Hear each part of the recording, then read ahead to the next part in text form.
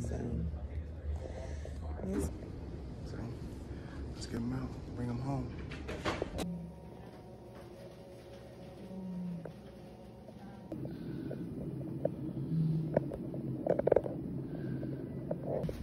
Period.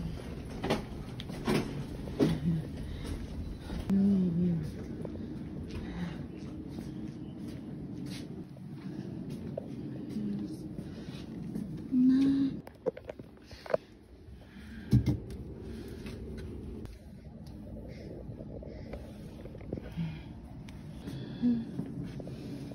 Hmm. Hospital. Period.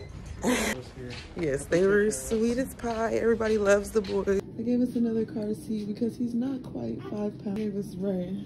Got us a little sack of stuff to take. This is the last time we gonna be in this room, baby.